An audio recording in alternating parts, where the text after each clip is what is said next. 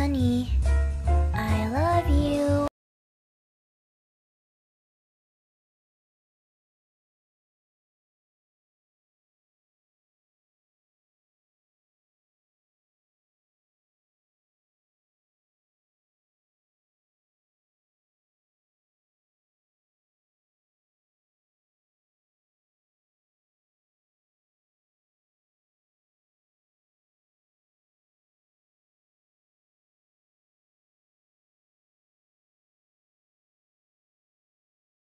Bitch.